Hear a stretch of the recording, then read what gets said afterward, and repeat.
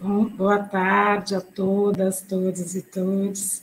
Prazer estar aqui com vocês. Estamos no, no segundo módulo do primeiro Seminário Nacional de Psicologia Enfrentamento ao Racismo. O tema do encontro de hoje é Saberes e Práticas Psicológicas Antirracistas e Decoloniais para o campo da avaliação psicológica e da neuropsicologia. Para tanto, contamos com a participação de dois estudiosos, pesquisadores do tema, contamos com a presença da doutora Flávia Luiza dos Santos, professora assistente da Astra Fellow na University College Dublin, na Irlanda, e diretora do UCD Music and Math Cognition Lab, e docente do programa de pós-graduação em psicologia da Unifesp, Campus Bauru, e contamos com a participação de Leogildo, professor doutor Leogildo Alves Freire, Freires, do curso de Psicologia e do programa de pós-graduação em Psicologia da Universidade Federal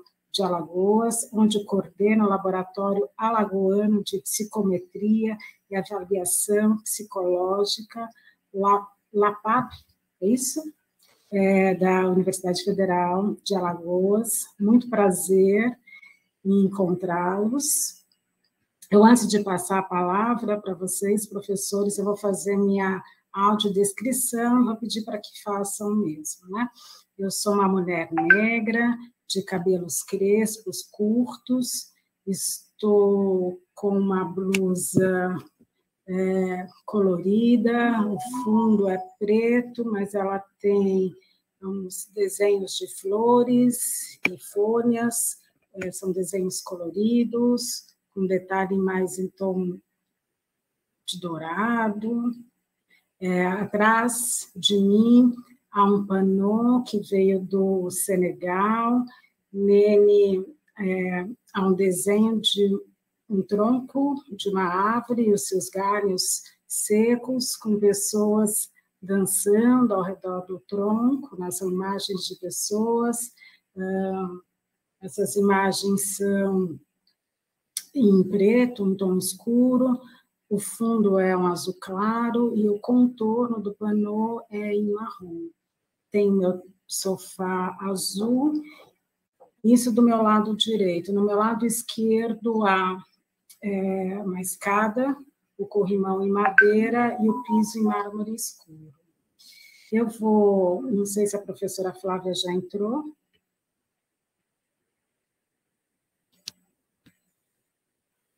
Vou passar a palavra, vou passar a palavra para o professor Leogildo, então, e a professora Flávia, como ela estava com uma questão técnica, ela fala na sequência. Tudo bem? Obrigada. Obrigada, Leogildo. Então, boa tarde a todos, a todas e a todos. Gostaria de agradecer imensamente o convite né, das comissões de Direitos Humanos para estar aqui com vocês nessa tarde, discutindo sobre um tema tão importante, tão relevante, e trazendo um pouco das aproximações da área a qual eu sou vinculado, né, a avaliação psicológica. Eu sou um homem branco, é, eu tenho cabelos pretos, é, lisos, estou vestindo uma camiseta de botão da cor preta também, de manga comprida, que está dobrada até a altura do cotovelo, Estou usando um fone de ouvido sem fio e atrás de mim, para facilitar, eu distorci o fundo em função da, dos, dos, objetos que estão presentes. Também não está tão organizado como a casa da minha amiga e querida Eliane Costa, que é linda sua decoração, como sempre, o bom gosto impera. Como ela mencionou, eu sou docente da Universidade Federal de Alagoas, é, tenho oito anos de carreira como docente, quatro desses anos foi na Universidade Federal de Roraima, onde eu conheci a professora Eliane, tive a oportunidade de trabalhar nessa instituição durante quatro anos no norte brasileiro, e os demais quatro anos na região Nordeste, na Universidade Federal de Alagoas, aqui na cidade de Maceió, onde sou vinculada ao programa de pós-graduação em psicologia da UFAL e também coordeno o Laboratório Alagoano de Psicometria e Avaliação Psicológica, que desenvolve ao longo desses anos um conjunto de estudos sistematizados no âmbito dessa área, mas também vinculando essa área de psicologia social, tendo em vista que o meu doutorado é em psicologia social. Então, é uma satisfação enorme estar presente nesse evento aqui e também de compartilhar com a professora Flávia, quem não conhecia pessoalmente, e que terei essa oportunidade hoje de, dessa interlocução de saberes também com a área de neuropsicologia.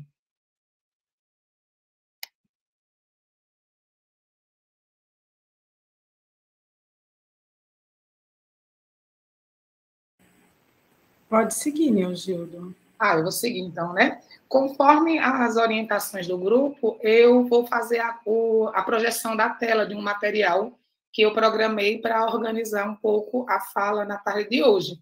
Então, eu preciso que quem está compartilhando a tela com esse slide de bem-vindas, bem-vindos e bem-vindos, a tela para que eu possa fazer o compartilhamento eu vou é, ficar vinculado a essa tela, tá? Então, eu não vou ficar aqui na tela do Meet. Então, eu peço que, caso vocês queiram fazer alguma intervenção, fazer algum tipo de pergunta ou alguma coisa do tipo, fique à vontade para usar os recursos da, de voz mesmo, porque como eu não vou estar na tela, muito provavelmente eu não vou estar vinculado nem ao chat e não vou observar quem está levantando a mão e coisas e tal. A fala que eu preparei é uma fala que ela tem relatos de uma pesquisa que está em andamento, né, que está sendo conduzida pelo meu grupo de pesquisas aqui na UFAL, e algumas considerações que considerei que eu julguei pertinentes de trazer para subsidiar um pouco a minha fala durante essa tarde. Então, caso qualquer um ou qualquer uma de vocês deseje fazer algum tipo de, de, de expressão, pode ficar à vontade usando o microfone que eu prontamente vou parar e a gente vai discutir. Tentei organizar tudo dentro do, do, do, do tempo estabelecido e vou tentar, ao máximo possível, manter sem extrapolar o tempo da outra colega.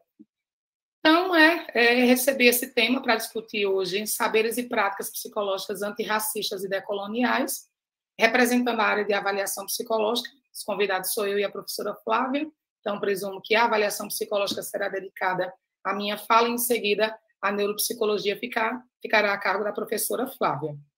Tá? E com relação à avaliação psicológica, eu queria só apresentar um pouco da minha trajetória, formar que eu atuo é, como parecerista ad hoc do Sistema de Avaliação de Testes Psicológicos do Conselho Federal de Psicologia, vinculado à Comissão Consultiva de Avaliação Psicológica, a CCAP.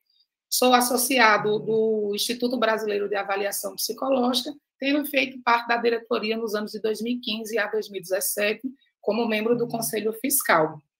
Desde então, né, ao longo desses oito anos, eu tenho desenvolvido estudos relacionados às grandes áreas de avaliação psicológica, psicometria e psicologia social e da saúde também como, como áreas afins. Atualmente, o meu grupo de pesquisas, que é o LAPAP, o Laboratório Alagoano de Psicometria e Avaliação Psicológica, está realizando uma pesquisa intitulada Desalinhamentos junto aos critérios de reconhecimento e validação a partir dos direitos humanos na avaliação psicológica brasileira, em função da avaliação psicológica ela apresentar muitas é, confusões acerca das suas próprias definições conceituais e até mesmo das suas próprias práticas profissionais, podendo ser evidenciados esses aspectos tanto a nível do ensino, da formação, como na atuação profissional propriamente dita. E o, o laboratório que eu coordeno é, vincul, é, está contido no catálogo de laboratórios de avaliação psicológica do Brasil, listados recentemente pelo Instituto Brasileiro de Avaliação Psicológica. E para que eu possa contextualizar essa pesquisa, antes de mais nada, acredito que já seja de conhecimento para a maioria aqui presente, gostaria de citar alguns marcos da avaliação psicológica acontecidos nos últimos 20 anos. Né? São duas décadas aí que marcam algumas modificações nessa área no Brasil. A começar no ano de 2001, quando a Comissão Consultiva de Avaliação Psicológica e o próprio SATEPSI são instituídos no Brasil.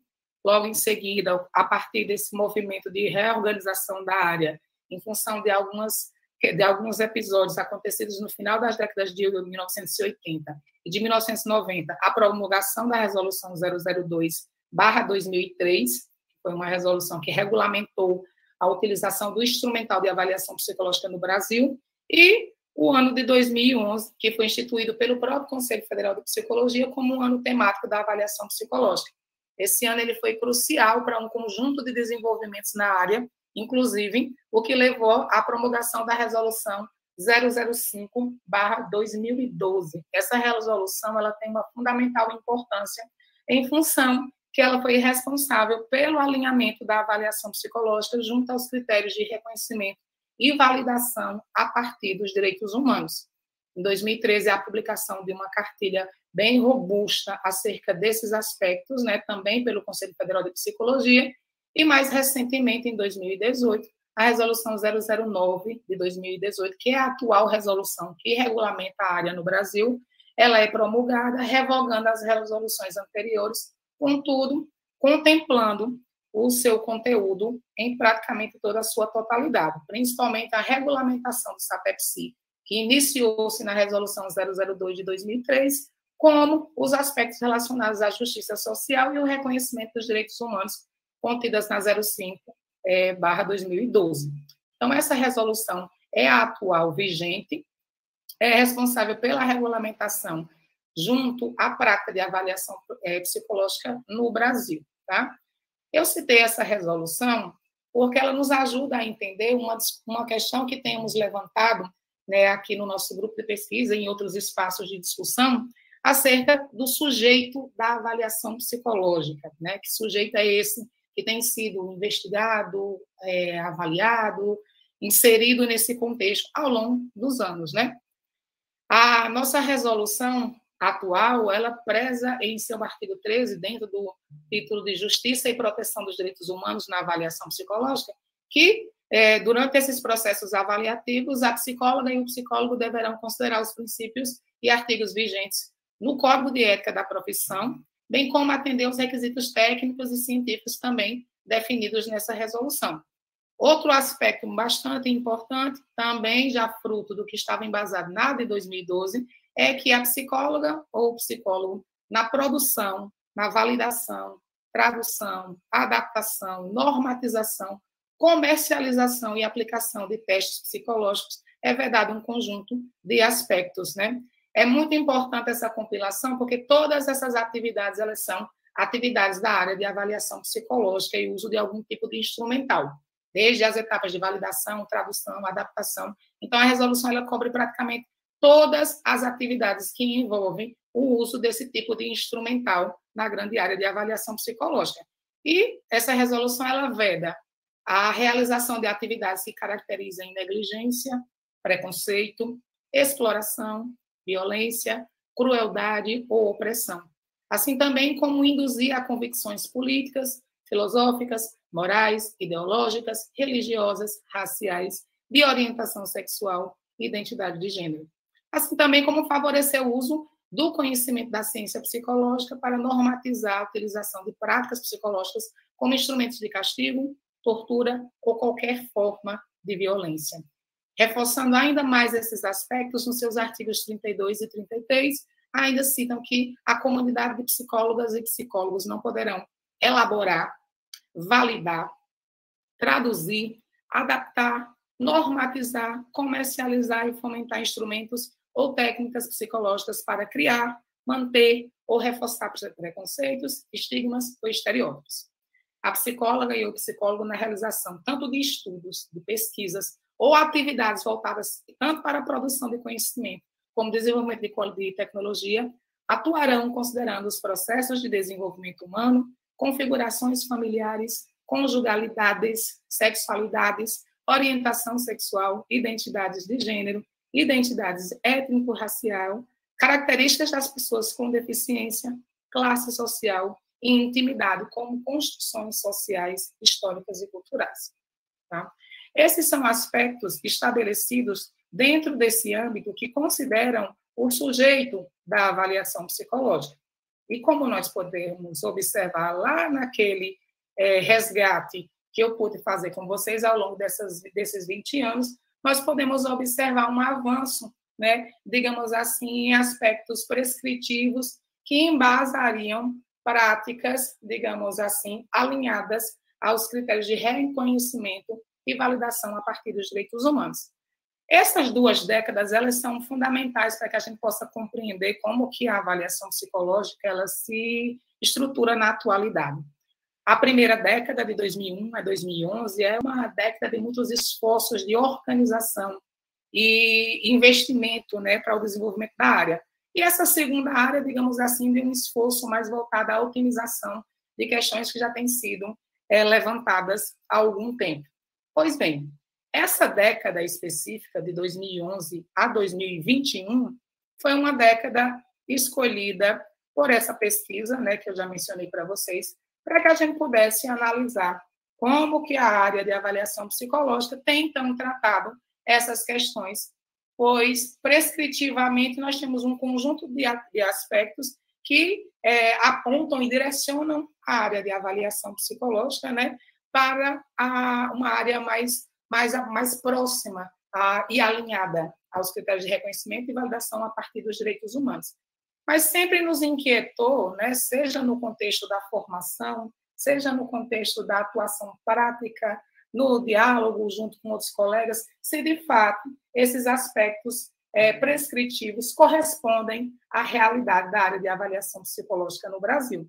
Então, há alguns anos, um conjunto de pesquisadores tem se interessado em investigar mais a fundo esses aspectos. Um deles tem sido eu, né? Essa pesquisa não é uma, é, não é uma pesquisa individual. Tem outros colegas também que têm se dedicado a um olhar, digamos assim, mais crítico para a área de avaliação psicológica, desde o seu ensino, que diz respeito à formação, como a própria atuação. Pois bem, é, nessa oportunidade, eu decidi focar em um veículo de comunicação específico, né, que é a RAP, que é a Revista de Avaliação Psicológica, essa é uma das revistas mais emblemáticas da área de avaliação psicológica no Brasil. É a única, inclusive, que leva o nome Avaliação Psicológica no seu título. Isso significa dizer que ela é a única revista que publica em avaliação psicológica no Brasil? Não, mas ela é uma das principais, principalmente porque ela é a revista do Instituto Brasileiro de Avaliação Psicológica, o IBAP, e ela é, é e, e essa instituição, por exemplo, é a que realiza bianualmente o, o evento científico mais famoso da área também, que é o Congresso Brasileiro de Avaliação Psicológica. Então, ela tem um respaldo, digamos assim, junto à comunidade. Então, essa revista, ela foi escolhida como o campo de pesquisa né, desse estudo que tem sido conduzido aqui junto ao LAPAP. Então, nós buscamos a revista a partir do portal PepSIC, que é a revista onde essa, que é, o, que é a base de dados onde essa revista ela é, é indexada. Essa revista ela é do programa de pós-graduação em psicologia, né? É, Instituto Censo da Universidade de São Francisco. É um programa de pós-graduação é, indexado com, qualis, é, com conceito 7 da CAPES, um dos, a, um dos programas em psicologia com a maior nota, inclusive, do país e tal. E é, atualmente ela é indexada com o Qualis A2. Tá? Pois bem, essa revista ela foi utilizada para montar um banco de dados né, de estudos publicados na área de avaliação psicológica que servirão para análise para, para análise para subsidiar, subsidiar nossa discussão. Como critérios de inclusão e exclusão, definimos os seguintes: né? É, teria que ser artigos empíricos, né? possuir a seção participantes em artigos de forma subtitulada. Os artigos eles são publicados do ano de 2011 até o ano de 2021, ou seja, 10 anos de publicações dessa revista, datadas especificamente em função de, em 2011, ter sido o ano temático da avaliação junto ao Conselho Federal de Psicologia e por um conjunto de ações de alinhamento junto aos critérios de reconhecimento e validação a partir dos direitos humanos terem sido encampadas durante esse intervalo de 2011 a 2021 em maior intensidade. Todos os idiomas foram considerados, português, inglês e espanhol. Os artigos que não estavam em português, em português eles foram traduzidos para o nosso idioma e incluídos, então, nessa revisão. É, a revista de como eu mencionei, foram considerados todos os volumes publicados no ano de 2011 até o ano de 2021. Né? numa estatística mais descritiva, o banco de dados final né, desse, desse estudo, ele foi composto por 10, é, 10 foi composto do volume 10 até o volume 20, ou seja, 10 volumes, onde foram publicados 39 números dessa revista, totalizando assim um total de 498 estudos. Esses 498 estudos, eles foram transformados em um banco de dados textuais, né, tendo sido selecionado de cada um desses estudos apenas a seção participantes, e esse banco de dados, ele possuiu, depois ele foi transcrito, tabulado e analisado em um software de análise de dados chamado Iramutec.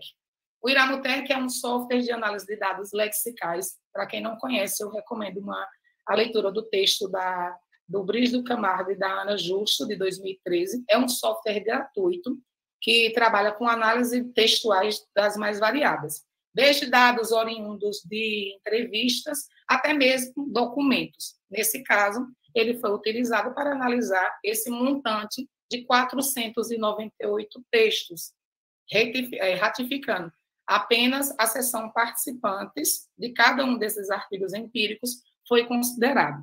No total, nós tivemos 55.501 palavras que compuseram o corpus textual analisado e apresentado nessa oportunidade aqui da minha fala. Foram realizadas duas análises lexicais. O, esse software possui um leque muito abrangente de análises textuais, mas as que foram consideradas nessa oportunidade foi a análise de nuvem de palavras, que funciona na plotagem ou na formação de um desenho de uma nuvem de palavras, em que as palavras que mais se repetem ou que tiveram maior frequência, elas aparecem em maior tamanho na plotagem da nuvem. A segunda análise foi uma análise de árvore de concorrências, que também pode ser chamada de análise de similitude.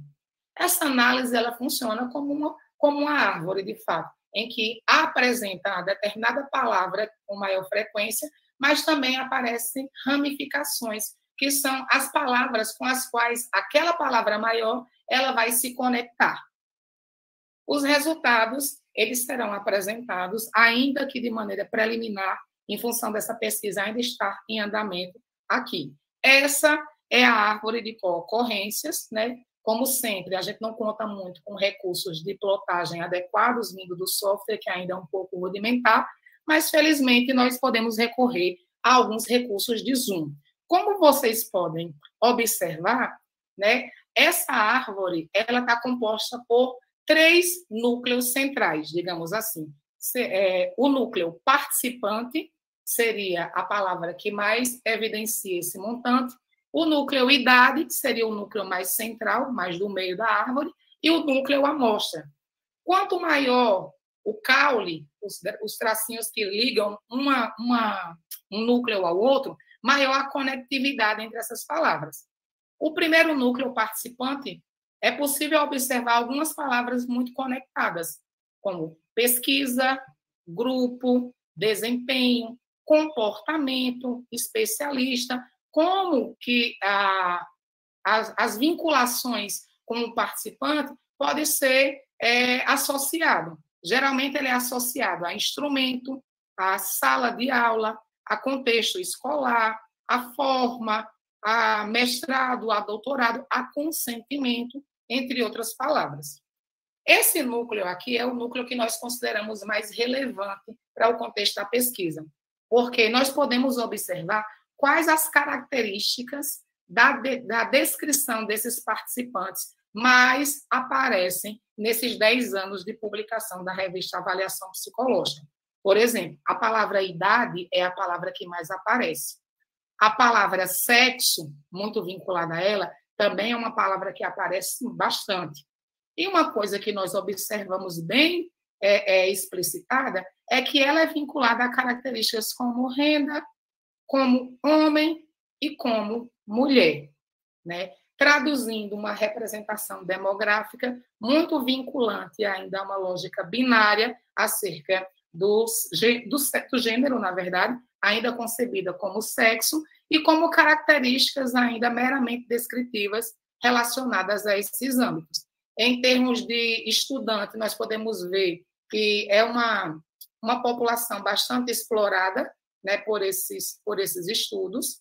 E em relação à amostra, nós podemos observar características que são vinculadas ou ao tamanho da amostra, ou ao tipo de resposta, ou como que ela foi é, é, como que as pessoas foram convidadas, até algumas características familiares, mas nada vinculada a outros aspectos. Nós temos escola, professor, idade, aluno também, que aparecem muito bem evidenciadas. Bem, essa segunda análise aqui nos ajuda a visualizar em maior medida como que essas características elas se comportam. Como eu disse para vocês lá no início da minha fala, é, de acordo com a frequência da palavra, né, quanto mais ela se repete, maior é o tamanho. Então, essa análise aqui, ela exatamente nos diz quais são as características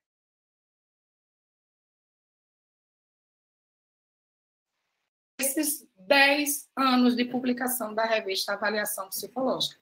E nós vamos ver aqui no centro da nuvem a palavra idade, em maior tamanho, participante, em função do subtítulo ter sido incorporado, amostra, sexo, estudo, aluno, grupo, curso, estudante. Nós conseguimos ainda visualizar aqui mulher, nós conseguimos aqui visualizar homem.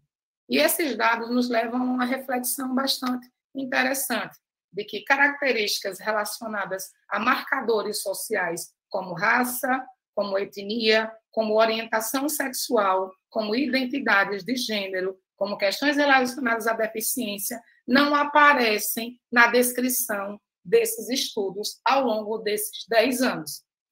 Quando nós recebemos, como nós é, analisamos esses dados e nos deparamos com essa situação, é, nós prontamente no grupo de pesquisa e com outros colegas começamos a discutir esses dados, né? É um estudo que funciona de natureza quantitativa, né? Porque são 55 mil palavras aí ao longo de 498 estudos. E essa análise realizada, ela trabalha exatamente com a frequência e com a repetição. Tá? Então, isso poderia ser colocado como uma questão não tão bem sustentada de que nós perceberíamos evidências de invisibilidades desses marcadores sociais. Então, o que foi que nós observamos e o que foi que nós fizemos nesse segundo momento? Nós passamos, então, a procurar é, individualmente cada um desses marcadores e a quantificar em função do todo que nós observamos. Então, o que foi que nós fizemos? Em um segundo momento, nós passamos a analisar a partir manualmente, a partir do banco de dados que nós tínhamos, como que essas questões apareciam, em que contexto elas apareciam. Por exemplo, nós iniciamos com o marcador gênero. O marcador gênero, quando ele aparece no nosso banco de dados, ele aparece apenas 20, 26 vezes, tá? de um total de 55 mil palavras. E quando nós vamos observar o contexto em que ela aparece, ao marcador gênero, ele é apresentado confundido com o marcador sexo. As possibilidades de gênero estabelecidas nesses estudos são apenas homem e mulher. Tanto é que nós fomos buscar esses marcadores. A evidência de uma concepção binária de gênero, o marcador, o, a, a, o sexo homem foi apareceu 79 vezes e mulher, representada pela letra M, 123 vezes. Isso representa 15,86% e 24,6%. Né? Isso significa, em estudos que foi apresentado, não é na quantidade de palavras, não. Da, da, de, de 498 estudos, esses marcadores apareceram homem em 79 e mulher em 123, representando aí um percentual de 15,86% e de 24,6% apenas uma concepção binária. Não satisfeitos ainda, seguimos as nossas investigações, as nossas buscas em, fun em função desses marcadores. O marcador orientação sexual aparece apenas uma única vez ao longo de 498 estudos, representando 0,2% da, do, do, do percentual de estudos. Mas ainda não satisfeitos, nós buscamos com marcadores individuais. Então, nós buscamos. Oi. Desculpa te interromper, você disse que podia, né? A Yara levantou a mão. Fica à vontade, Yara. Pode me interromper na hora que quiser. A gente ainda está no tempo. Sim. Yara, por favor. Não, foi involuntário, desculpe. Tudo bem. Desculpa, então, continuando. O marcador orientação sexual né, aparece apenas uma única vez e representa 0,2% do total de 498 investigados, levantados. Mas nós ainda fomos buscar marcadores específicos, pois ainda poderíamos, é, ainda poderia ter um argumento de que a palavra orientação sexual não, contempla, não seria um descritor contemplativo. Então, nós buscamos pelas palavras heterossexual, homossexual e bissexual, tá? E nós encontramos heterossexuais 13 ocorrências, representando 2,6%, três ocorrências do marcador homossexual e apenas duas ocorrências do marcador bissexual, representando 0,6% do percentual e 0,4% do percentual. Ainda não satisfeitos, nós buscamos também pelo marcador transexual e travesti. E zero ocorrências é, tivemos nesse banco de dados, totalizando assim um percentual de 0% de descrição dessas populações ao longo de 10 anos de publicações dessa revista, em um total de 498 estudos publicados em 20 em, em 10 anos, em 39 números. O marcador raça também foi investigado, principalmente em função dessa fala né, que veio a convite da Comissão de Direitos Humanos. Inicialmente, o objetivo da nossa pesquisa era em relação às discussões de gênero e sexualidade. Uma professora Eliane sabe, é uma área que eu tenho me dedicado ao longo dos anos e tudo mais. E a convite dessa, dessa, dessa, desse evento, então, nós decidimos, vamos incluir o marcador raça nessa investigação até porque já tinha, já tinha tido e sido iniciada a coleta de dados e a gente teve que, é, é, tinha tempo, né, porque foi em julho, com devido planejamento, e a gente foi refazendo as buscas, né, e, e realimentando o material. Nós buscamos, segundo os critérios estabelecidos pelo IBGE, por cinco, é, na verdade, quatro, né, por cinco marcadores. Nós buscamos pela palavra raça, e não aparecia muitas descrições, a confusão era muito era confusa né, em relação da identificação. Então, nós buscamos, então, pelos marcadores propriamente dito. Então, preto apareceu sete ocorrências, representando 1,4% apenas desses estudos. Negro apareceu cinco ocorrências, representando 1,1%. Pardo, 7%, representando o mesmo percentual, 1,4% amarelo, três ocorrências, representando 0,6%, e branco, 14 ocorrências, representando 2,8%. Também buscamos pelo marcador etnia. O marcador etnia teve sete ocorrências e o marcador e dentro dessas etnias vinculantes estava a palavra indígena que teve seis ocorrências. Pois bem, ao nos depararmos com as sequências resultados, nós né, intitulamos a nossa pesquisa de desalinhamentos junto aos critérios de reconhecimento e validação a partir dos direitos humanos na avaliação psicológica brasileira, em função desses marcadores, quando na sua totalidade, a partir de um recurso quantitativo, não aparecerem no montante quantitativo, e quando analisados individualmente, aparece um percentual ínfimo. Isso representa um olhar direcionado à pesquisa, né, nesse veículo de, de publicação, vinculado a uma invisibilidade desses marcadores. Ao não considerar esses marcadores, nós não temos como fornecer subsídios relacionados e vinculantes a esses grupos, né?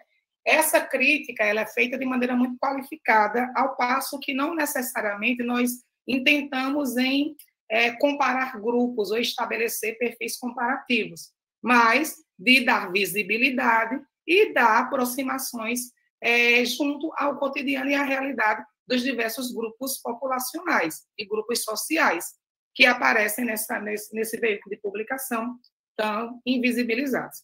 Essa discussão ela ganha ainda mais impactos quando consideramos a publicação recente de 29 de outubro, né, da própria Associação Americana de Psicologia, inclusive, que é uma das instituições de maior referência para a área de avaliação psicológica, em que aponta o papel da psicologia e da própria instituição no combate né, ao, ao racismo sistemático e às pessoas de cor né, no contexto estadunidense.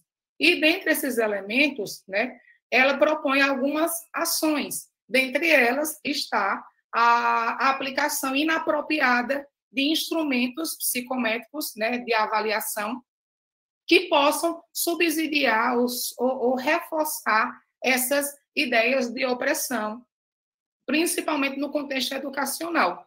E chama a atenção de todas as áreas, e há em relação à avaliação psicológica, de utilizar dispositivos e mecanismos apropriados para que a gente possa admitir políticas compreensivas, holísticas, que incluam avaliações é, dos atributos que deem suporte a um conjunto de, de aspectos e de pesquisas que possam fornecer um panorama mais equitativo em relação a, essas, a, a esses grupos populacionais. Tá? Outro aspecto que nós podemos identificar é que nessa pesquisa apenas um elemento ele foi analisado, né, que seria a sessão participantes. E diante desse corpus textual, nós já tínhamos diversas outras possibilidades também de análise. Nós temos a possibilidade de analisar também as temáticas que são investigadas nesse estudo e observar o seu alinhamento junto aos critérios de reconhecimento e validação a partir dos direitos humanos. E nós temos também a, o intuito de avaliar as referências bibliográficas utilizadas nesses estudos, pois análises preliminares também apontam para, majoritariamente, a presença de referências que são do eixo estadunidense, do eixo europeu, e quando são referências nacionais, elas estão vinculadas ao eixo sul-sudeste do país, desconsiderando publicações de, mesmo da área da, de, de pesquisadores e pesquisadoras das regiões norte, da região nordeste e da região centro-oeste, com exceção da Universidade de Brasília. Então, esse é um campo de exploração que chama a atenção para esses elementos e convoca toda a avaliação, a área de avaliação psicológica brasileira a repensar as suas publicações e as suas pesquisas, principalmente as publicadas nessa revista. Nós é, temos a intenção de fazer esse mesmo levantamento em outros veículos também de publicação, para que nós possamos ampliar o escopo de análise dessas questões, considerando também outras seções desses estudos, para que a gente possa oferecer um panorama desse, desse, desse contexto de pesquisa na área de avaliação psicológica em todo o território nacional. É, nós também colocamos à disposição de todos os pesquisadores interessados. O corpus textual que foi é, construído ao longo dessa pesquisa, para que, se alguém tiver interesse de refazer as análises, considerando os critérios de inclusão e de exclusão que nós realizamos, também estaremos de, é, colocando à disposição, assim também como colocamos também à disposição de que outras parcerias e outros colegas também tenham o intuito de analisar outros veículos de publicação dessa área para que a gente possa ampliar e fomentar é, maiores evidências para essa pesquisa. Um aspecto que nós levantamos como propositura e que nós temos incorporado nas nossas práticas de pesquisa é a utilização de dispositivos interseccionais que nos auxiliem a ter um levantamento mais amplo e representativo, né, com base em diferentes marcadores sociais, desde raça, classe, gênero, orientação sexual, identidade de gênero e sexualidades, para que nós possamos ampliar o escopo das pesquisas que são realizadas no âmbito da avaliação psicológica. A exemplo disso, nós estamos realizando uma pesquisa né, no, que tem o intuito de levantar alguns impactos na saúde psicológica de diferentes grupos sociais durante a pandemia da Covid-19, tentando levantar afetações quanto aos, aos, aos diferentes marcadores, considerando também a potencialização desses marcadores junto aos aspectos instituídos pelo contexto da pandemia da Covid-19. Esses dados também eles estão sendo, a pesquisa ainda está em andamento, esses dados também estão em fase de análises preliminares, mas nós já conseguimos levantar algumas evidências quanto à maior afetação na saúde psicológica de grupos é, é, minorizados, né? principalmente em função de tais grupos já se encontrarem em situação de vulnerabilidade e, nesse contexto, essa vulnerabilidade ela ter sido se acirrada.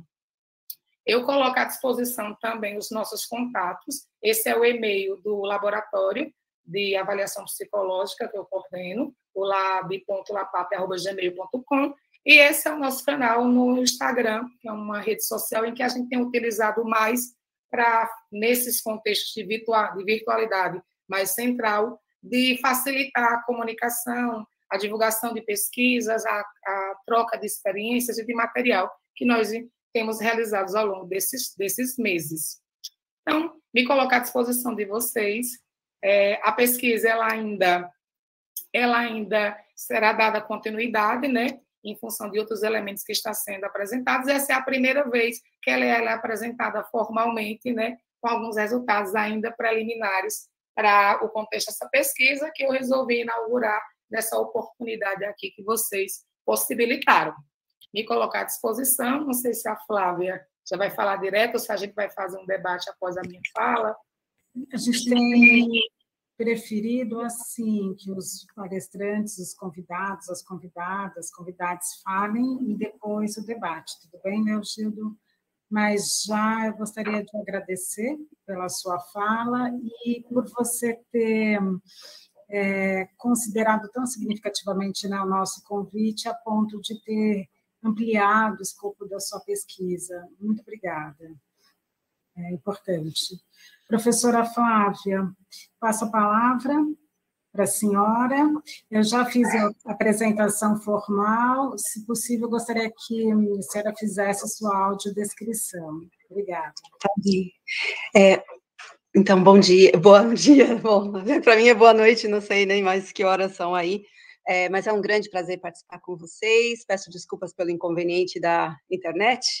Então, eu sou brasileira, sou de São Paulo, filha de mineiros, sou negra e estou muito feliz com esse convite. Fiquei muito honrada, realmente. É a segunda oportunidade que eu tenho de estreitar laços com o, o Conselho Federal, então eu fico muito honrada mesmo com o convite. Eu vou compartilhar a tela e, e dar início. Ai, não, aqui. Windows. Ah. Porque hoje está tão difícil. Foi tão difícil conectar e ainda não consegui. Peraí, um instante.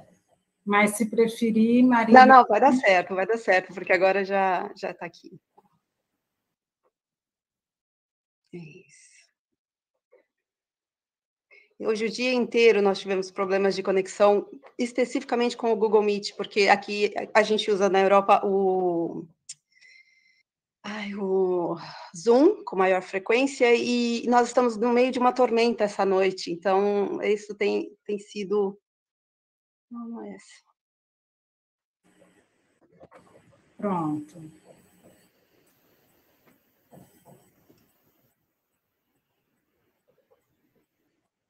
Não, ainda não. Flávia, para a gente aqui já apareceu. Caso não, você... não, não. Ah. Mas não é. ah, é sim, agora, agora eu também via, é verdade. Não estava aparecendo para mim aqui. Super estranho isso hoje. Caso você hum. queira, eu posso projetar também. Eu estou com, com a sua projeção aqui comigo aberta. Se é essa daqui. Agora eu consegui abrir. Certo, agora tem que funcionar, vai dar tudo certo. Isso. Um um pouco difícil, mas agora vai. Aqui está. foram tantas emoções de não conseguir conectar que agora me deu até calor. ok, vamos lá. Então, é... deixa eu colocar o reloginho para me controlar aqui, para não passar dos momentos. Bom, então, um bo uma boa noite a todos. É uma grande honra participar do primeiro Seminário Nacional de Psicologia e Enfrentamento ao Racismo. Eu escolhi como tema é, Eugenia e Desigualdades, o efeito os seus efeitos na psicologia, na universidade, na sociedade. É, eu tinha preparado uma aula mais geral, assim, mas é, porque eu não, não, não havia entendido que era uma discussão de um grupo mais específico. Senão, teria aprofundado e falaria, por exemplo, das minhas experiências de tradução e adaptação de testes psicológicos, escalas comportamentais, instrumentos para remediação de déficits cognitivos, tanto no Brasil, na Espanha, como em Portugal. É, aqui eu coloquei alguns exemplos, como Calculares, Loma, uh, Zarek R, Zarek K, e o IDSD, é, sendo que o Calculares, inclusive, é comercializado no Brasil. Bom, é, aqui. Então, eu sou, eu sou professora assistente na UCD, na University College Dublin, eu sou uma AD Astra Fellow, e então hoje a gente vai falar sobre essas questões. É, eu organizei dessa forma, então, primeiro, é, falar de, de desigualdade de uma maneira geral, depois centrar um pouco no caso da África, discutir alguns conceitos como meritocracia, diversidade, interseccionalidade na academia e o legado da eugenia. Ah, bom, é, então, eu sei que é, Léo já falou disso, aliás, falou muito bem também. É, então, assim, as desigualdades, elas, no, no passado, a gente entendia que era só uma questão de renda, então a gente pensava em países ricos e países pobres, e hoje em dia a gente sabe que, na verdade, há fatores muito específicos de, de, determinando desigualdades. Então, gênero, idade, origem, etnia, deficiência, orientação sexual, classe, religião, como já foi falado hoje. E nós sabemos também que essas diferenças estão entre os países e dentro dos países. No Brasil, um exemplo gritante, né? Cada região do país, a gente tem uma realidade completamente diferente, poderiam ser nações diferentes. Bom, Dentro dessas várias questões, nós sabemos que o racismo é uma das principais formas de disseminar as desigualdades, então é prejuízo, discriminação e antagonismo direto a uma pessoa ou um grupo de pessoas em função da sua origem racial ou étnica, e também outros grupos minoritários ou igualmente marginalizados. A gente tem termos que são equivalentes em outras línguas, justamente porque o racismo ele não necessariamente se dá com um único grupo étnico, mas também envolve grupos religiosos. Então a gente tem termos como xenofobia, chauvinismo, antissemitismo e essa outra palavra que não tem uma tradução no, no português. Eu posso dizer que inventando bigotria, mas é, bigotry seria realmente racismo. Um, um marco importante é que é, a lei contra o racismo no Brasil é, é, muito recente, né, 33 anos, então, assim, é por isso que a gente vê esse marco tão claro na sociedade, que as pessoas ainda não têm um respeito muito claro com relação a isso, inclusive dentro dos eh, dentro do grupo dos políticos, que tem uma postura completamente inadequada, então, é, perpetuando e, e reforçando esses estereótipos e essas ações inadequadas. Mas é importante dizer que existem outros grupos, então, por exemplo, judeus e nazistas, e aqui eu usei esses dois termos conscientemente para dizer claramente que judeus podem ser pessoas de diversas nacionalidades, inclusive brasileiros, e nazistas também, infelizmente, diversas nacionalidades. Então, não são só israelenses e nem são só alemães. Então, é, são grupos mais diversos. Aqui, sim, falando de grupos é, de nacionalidades, então, os israelenses e os palestinos, sabendo que os palestinos sequer tiveram a sua terra reconhecida ainda, ou a sua nacionalidade reconhecida os ciganos, que nós vemos também no Brasil, mas aqui na Europa também é um grupo extremamente discriminado, e, claro, as, as questões é, relacionadas ao gênero, como muito bem falou Léo, então, é, gays, lésbicas, bissexuais, transexuais, queers e outros grupos, por exemplo, intersex. É, e aí, por fim, entramos no caso dos africanos. E a, o destaque para esse grupo é porque esse grupo foi, a experiência desse grupo foi disseminada para o planeta inteiro. Então, olha só, é, o tráfico de escravos aconteceu entre 1650 e 1860 oficialmente, sabemos que durou muito mais do que isso, E o que aconteceu é que as pessoas foram sequestradas do continente africano e levadas e escravizadas na América do Sul, na América Central, na América do Norte e também na Europa. E então essas pessoas foram levadas à força a esses locais para trabalhar na, na, produção de tabaco, é, café, algodão, açúcar, é, arroz, mas também nas minas. E, e a importância desse mapa é para mostrar para vocês que em todos esses digamos, esses continentes onde os escravizados foram levados, o mesmo modelo cultural foi repetido. E é por isso que em todos os lugares a discriminação com relação a esse grupo étnico é tão, ou melhor, esse conjunto de grupos étnicos é tão gritante. É, e também é importante dizer, né, a gente sempre tem esse, esse paradoxo, mas a África é o, é o, continente mais pobre ou é o continente mais rico? É, só para vocês terem uma ideia, por volta de 1914, sete nações europeias dominavam praticamente 90% do território africano, aqui destacadas: Espanha, Itália, França, Reino Unido, eh, Alemanha, Portugal e Bélgica, e eles foram à, é, África com intenções muito claras é, para extrair de lá diamantes, açúcar, sal, ouro, é, prata, petróleo, cacau, as mais variadas formas de madeira, né, de árvores e as mais variadas frutas tropicais, inclusive a mão de obra humana também.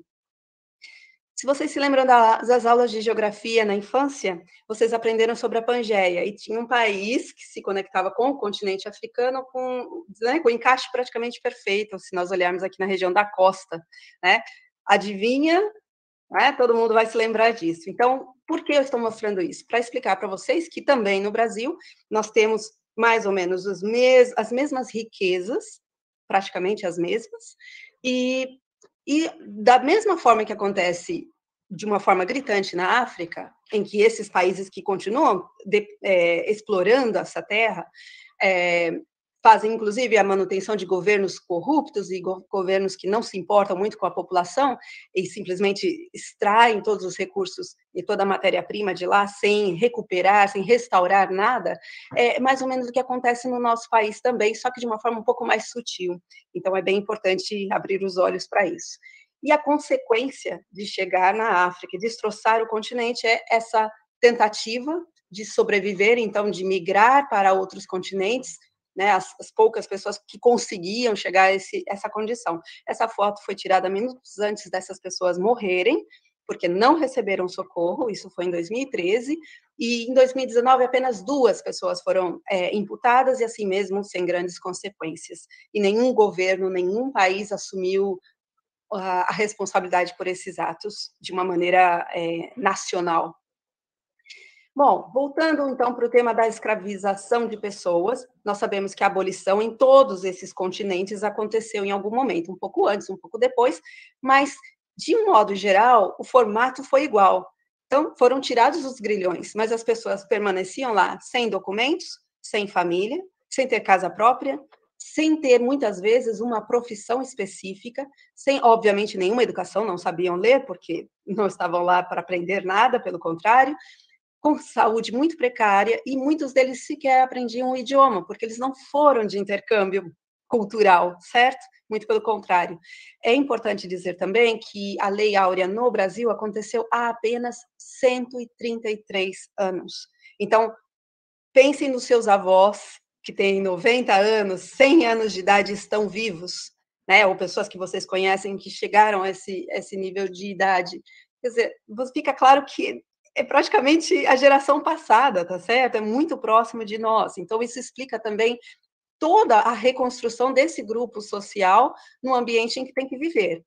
É também é importante dizer que, embora a gente não veja mais os grilhões tão evidentes, mas não quer dizer que a escravidão acabou, existe escravidão moderna, então há tráfico de pessoas, tráfico de humanos, particularmente para prostituição, trabalho forçado, é trabalho em troca de pagamento de dívidas, casamentos forçados, e exploração de menores. E para mostrar para vocês, esse mapa indica justamente, com, quanto mais fortes os tons coloridos, mais indicativos de, é, conforme o, índice global de escravidão de, é, de 2018, é, mas os países em tons pálidos também têm, e só para deixar claro aqui a questão do Brasil, se vocês olharem aqui na tabela, a pontuação do Brasil próxima da pontuação mundial, inclusive até mais alta em alguns itens, como é o caso da própria desigualdade aqui, 56%. Então, bastante alto. E nesse gráfico, eu queria mostrar uma coisa extremamente importante. São vários países no eixo X e no eixo Y são é, gerações necessárias para que um, uma, uma comunidade saia do nível socioeconômico baixo para o nível socioeconômico médio. Obviamente, estamos excluindo as pessoas que roubaram um banco ou as pessoas que ganharam na loteria. Estamos falando realmente do clássico, a pessoa que trabalhou e conseguiu vencer barreiras e deu um salto, né? Então, se nós olharmos todos esses losangos, a gente vai ver que, na média, está aqui em vermelho, é, a média desses todos os países de quatro a cinco gerações, ou seja, é o avô, o pai, o filho e o neto. E logo depois disso, então, esse salto acontece de uma forma mais ou menos estável e, digamos, as novas gerações já têm uma qualidade melhor de vida. Mas se vocês olharem para a ultradireita, brincando aqui com as palavras, fazendo um certo trocadilho, o Brasil aparece aqui e a gente percebe, eu destaquei com esse círculo, que está entre oito e nove gerações. Então, é literalmente o dobro, justamente porque é um país que já tem muitas desigualdades, muita corrupção e pouco investimento justamente na mudança, na mobilidade dessas gerações.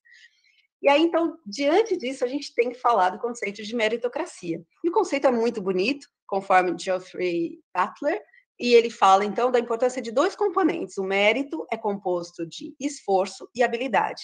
E as religiões como um todo dão essa sensação às pessoas: olha, se você se esforçar, se você fizer o melhor, você será compensado nesta ou na próxima vida, tá certo? E, por outro lado, a psicologia e também a genética é, construíram essas ideias das habilidades e que elas também seriam determinadas de alguma forma. Só que, na verdade, meritocracia é o que vocês veem nessa charge aqui do lado direito. Então, é uma engrenagem que vai perpetuando esse ciclo praticamente vicioso, em que as pessoas se esforçam, se esforçam, se esforçam e não saem do lugar, mas ao mesmo tempo a força delas faz a propulsão para que alguém suba rapidamente, sem esforço e sem qualquer dificuldade, chegue obviamente primeiro, tá? Então, com isso eu trago aqui um exemplo forte do que é essa questão, uma dessas forças é o nível socioeconômico. Então, alto nível socioeconômico, médio nível socioeconômico e baixo nível socioeconômico. E aqui nós temos representadas as probabilidades de uma pessoa se graduar, dividida em três grupos. Em azul, os estudantes com notas muito baixas, ou seja, que têm dificuldades ou né, que não rendem muito. Em preto, os, os que têm um desempenho médio. E em cinza, os, aqueles que de fato é, se destacam né? Ou porque tem mais capacidade, ou porque se dedicam mais, não, isso já não, o trabalho não permite saber. Mas fica claro, olhando aqui, especialmente essa linha vermelha que eu quis traçar, que mesmo a pessoa mais pobre, que tenha uma capacidade muito alta, uma pontuação muito alta, ainda tem menos probabilidade do que uma pessoa rica que tem o pior desempenho escolar de concluir a graduação. Então fica claro para vocês como é que esse sistema se mantém. E esse grupo que sobe de ascensor é sempre o mesmo. Então, quando a gente fala em diversidade, que a gente está falando aqui de idade, gênero, orientação sexual, habilidade, etc., é isso que vocês já ouviram é, a Léo falando, eu falando, e outras pessoas certamente também, é, fica claro para a gente que a diversidade dentro da ciência ou dentro da academia, é a ideia de que nós tenhamos pessoas de todo o espectro social, de baixo, eh, os grupos altamente representados, tradicionalmente representados, ninguém aqui está dizendo que eles têm que sair de lá, mas ao contrário, que nós deveríamos criar oportunidades para os grupos menos representados. Né? Agora, tem uma confusão com esses termos que é muito importante. Ninguém é apenas a idade que tem, ninguém é apenas a orientação sexual ou apenas a etnia tá certo? É sempre uma combinação, né, a, a inter-relação entre esses termos. Então, por isso, nós estamos falando sempre de interseccionalidade. Isso quer dizer também que essas diferenças vão levar à necessidade de políticas públicas especializadas para as diferentes demandas. Então, não é, por exemplo, a universidade que diz, ah, eu contratei uma pessoa que que é de um que tem uma deficiência, então eu já resolvi o problema da diversidade na minha universidade. Não é assim que funciona. Esta foto é a cara da ciência, é uma foto emblemática, extremamente importante, histórica, Importante por muitos motivos. Primeiro, porque foi um congresso em 1927 com os mais ilustres pesquisadores que nós citamos até hoje. Aí estão Einstein, Schrödinger, Heisenberg, Planck. E entre esses pesquisadores, a única mulher é Marie Sklodowska-Curie, a vencedora de dois prêmios Nobel. Então, é muito importante porque isso marca para a gente a ideia de que mulheres podem produzir ciência de qualidade, podem é, exercer é, o seu papel dentro da, da, comunidade científica, e mas também essa imagem mostra para a gente o lado negativo, de que naquela época e ainda hoje, a ciência tem um predomínio de indivíduos caucasianos, de origem, ou pelo menos de declaração heterossexual, porque naquela época, particularmente, desde que estivesse casado, não precisava, né, ninguém precisava falar da vida individual de cada um, mas era a norma. É, que não tenham deficiências, que tenham origem anglo, que tenham pelo menos classe média e que sejam homens, predominantemente homens. E aqui, só para brincar um pouco com vocês, quantos professores negros tem na sua universidade? Quero que vocês pensem, lembrem-se dessa, dessa, tragam né, para suas mentes essa imagem. E eu trago um exemplo dos dados coletados pela BBC é, recentemente, é, dos anos 2019 e 2020. No Reino Unido, há apenas 1% de professores da etnia ou que sejam considerados negros, em comparação a 7% de origem asiática e 89% de origem caucasiana.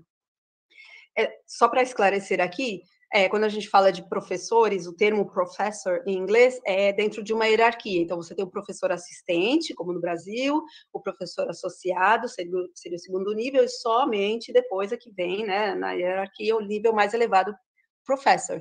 Então, quando nós disse, diz, estamos aqui dizendo que 1% dos professores do Reino Unido são negros, nós estamos falando de exatamente 155 pessoas dentro de um conjunto de 23 mil indivíduos. Então, fica claro que esse, esse espaço não está sendo ocupado. E no ano da quando a pandemia começou, a gente teve toda aquela agitação, a morte do George Floyd, todas aquelas situações, mas isso teve também uma mobilização científica, então foi, surgiu aí o Black Neuro, como também surgiram outros grupos e que tentam mostrar a produção científica dos pesquisadores negros, é, que é, raramente recebem convites e produzem e mostram seus trabalhos.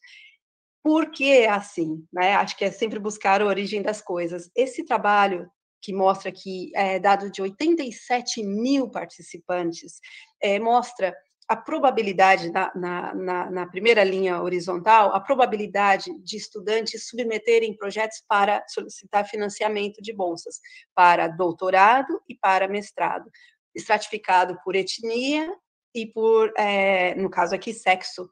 É, e aí o que nós observamos na linha de baixo são as probabilidades de conseguir esse financiamento. Nas quatro categorias, nós vemos claramente que as mulheres negras têm menores probabilidades de conseguir serem financiadas, então, consequentemente, por isso também temos menos pesquisadores é, é, desenvolvendo a sua carreira. E agora, por fim, eu chego no tema principal que eu queria falar, que é a questão da eugenia, que é um uso inadequado da teoria de Darwin, feita por Francis Galton. E Francis Galton dizia, então, que é, determinadas raças eram, digamos, mais fortes e dever, deveriam prevalecer em detrimento de outras menos adequadas. Galton chegou ao extremo de sugerir que nós deveríamos repopular o continente africano inteiro com chineses, porque os chineses seriam melhores escravos. Então, assim, ofendendo duas etnias, bueno, diversas etnias, né? Então, muito, muito grave. A gente tem outras formas de eugenia é, recentes, né, contemporâneas aqui para nós que eu não vou abordar por falta de tempo. Mas acho que é importante a gente saber que a eugenia não ficou lá no Reino Unido. É, em 1918, São Paulo teve uma sociedade de eugenicistas. É, em 1929, houve um congresso brasileiro de eugenicistas. Então, é, nós sabemos que esses grupos continuam se reunindo, embora de uma maneira mais ou menos secreta, mas eles continuam agindo. E o grande marco foi na psicologia, então, é, destacando aqui alguns pesquisadores, Thorndike, Yerkes, Sanger, Herman, Sneden, que trouxeram essa questão da eugenia para o, com, para o contexto da educação. Eles foram cruciais no processo da, do uso inadequado dos testes de inteligência para favorecer a eugenia. Então vamos lá, como é que essa história começa? Então nós temos aqui é, é, Alfred Binet, que era um, um francês que morava na, na, na, França, em Paris, precisamente, de origem italiana, então era Alfredo Binotto, mas, é, enfim, é o Alfred Binet, e ele, então, é, desenvolveu, junto com um estudante, um teste a pedido do governo francês, e esse teste tinha uma intenção muito positiva, era uma preocupação em identificar crianças com dificuldade de aprendizagem para poder ajudá-las. Então, esse teste buscava medir a idade mental das crianças. Mas, tão logo Binet criou essa tarefa, é, em, com a ajuda de seu aluno Simon, é, ficou conhecida como o teste de QI de Binet e Simon, ou a bateria Binet e Simon. E essa bateria, tão logo foi criada, começou a ser utilizada com termos pejorativos, como idiotas, imbecis e morons, conforme a idade mental das crianças, por um eugenicista que foi Henri Godard. E Binet continuou firme e forte sendo contra essa postura. Ele disse claramente que a, a inteligência não é uma habilidade fixa, é possível aumentar essa habilidade e que todas essas argumentações elas eram infundadas. E aqui está talvez a figura central nesse processo tão perigoso que foi Lewis Terman. É, Terman acreditava que a inteligência era inata e por isso não mudaria com o tempo. E ele então se apropriou de algumas tarefas do Binet, fez uma adaptação, uma é, é, complementação para dividir por grupos etários e criou a Stanford Binet, Stanford como sendo o nome da universidade. Só que, infelizmente, ele usou essa bateria para dizer que indígenas, mexicanos e pessoas de comunidades negras eram tinham QIs deficientes. Num estudo posterior que ele fez também sobre é, pessoas superdotadas, chama a atenção que a amostra dele era também é, não representativa, então havia um predomínio de meninos, então questão de gênero, é, de sexo, é, mas também é, idade, é, predominante eram, eram predominantemente caucasianos, é, de áreas urbanas, de classe média e todos residentes na classe na Califórnia. Fica claro que isso não tinha de representatividade quase nada. Dentro desse grupo havia apenas duas crianças afro-americanas, seis nipo-americanos e um americano indígena. Então, já não preciso dizer muito mais. Só que acho que é importante é, trazer para vocês as palavras explícitas de Thurman na ocasião. Então, ele disse em 1916 que ele acreditava que o problema com pessoas de origem hispânica, indígenas, mexicanos e também negros, que era um problema racial herdado da, da família deles e que essas crianças deveriam ser segregadas e separadas das outras classes, é, das outras crianças. E disse também que para trabalhar eles serviriam, mas do ponto de vista da eugenia, eles eram altamente um problema grande e grave, porque eles se proliferavam muito rapidamente. É, Martin Luther King diz claramente: depois que esses profissionais usaram a ciência para passar essa imagem, ficou muito mais fácil para a comunidade, para a população de um modo geral, aceitar brutalidade e criminalidade contra esses indivíduos da etnia é, negra é, em função dessa, dessa postura. Então, não, ninguém tinha consciência, apesar de sentir responsabilizada, afinal, era realmente uma hereditariedade defeituosa. E essa ideia deu margem para todas as mudanças que nós vimos depois. Então, o problema da, das próprias, é, da forma como as instituições começaram a funcionar, as políticas públicas. Então, por exemplo, é, proibição de viajar ou de imigrar, esterilização forçada, várias mulheres que estavam grávidas e que, quando iam para ter o parto, eram esterilizadas sem serem consultadas. É, houve segregação, o clássico é o apartheid lá na África do Sul, mas isso aconteceu em vários lugares. Institucionalização de qualquer pessoa com deficiências intelectuais, falta de suportes educacionais para as crianças, porque, claro, se é um problema genético que não tem como corrigir e não vai mudar, então para que investir neles? Da mesma forma, pouco investimento em saúde, porque também se morrerem é melhor que morra alguém que não tenha muita capacidade para estar no, no, ambiente. Mas eles serviam para serem é, a linha de frente numa guerra, ou, por exemplo, eu não vou mostrar na aula de hoje, mas em outro trabalho eu mostro é, a questão desses, dessas outras etnias, como eles morreram mais na, no caso da, da pandemia, inclusive como profissionais cuidando dos pacientes, é, menores salários sempre e quase sempre, é, quase nunca em cargos de chefia. Só para vocês entenderem a complexidade e gravidade disso, faz apenas 61 anos que essa menina precisou sair escoltada por esses policiais para entrar na, na escola onde ela tinha que estudar, que ela ganhou o direito pela lei de frequentar a escola, mas ainda assim ela foi para a escola e não necessariamente estudou com os demais alunos, ela só conseguiu entrar no edifício, tá certo?